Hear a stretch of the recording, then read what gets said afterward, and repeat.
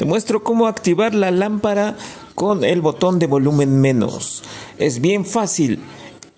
Nos vamos a ir a la parte de los ajustes. Buscas el engrane y en ajustes vamos a darle un toque.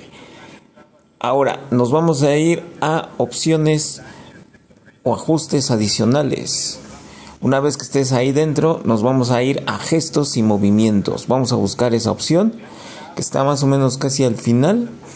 Y una vez ahí, vamos a darle un toque en la opción que dice encender o apagar la linterna con el botón de volumen. Vamos a activar esa opción si es que la tienes desactivada. Y con eso nos salimos de esta parte. Vamos a bloquear el teléfono y simplemente presionamos el botón de volumen menos, en este caso que lo tenemos ahí en uno de los costados, lo mantenemos presionado y se va a encender la lámpara.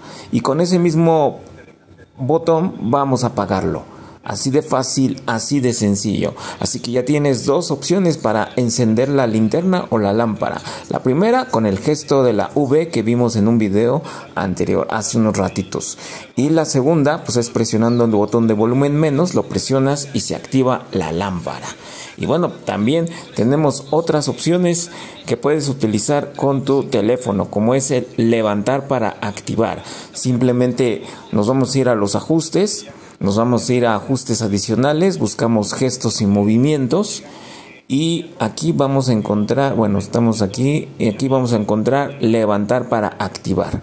Cuando tu teléfono esté sobre la mesa y simplemente lo levantes, automáticamente se activará la pantalla. Así de fácil. Y también cambiar automáticamente el receptor. Es decir, si tú te alejas mientras estás hablando por teléfono, automáticamente cambiará el receptor cuando retires tu teléfono del oído.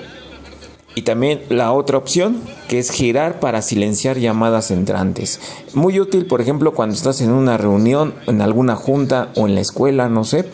Y para evitar interrupciones, simplemente pon boca abajo tu teléfono, lo giras y con ello quedan las llamadas silenciadas. Así de fácil, así de sencillo.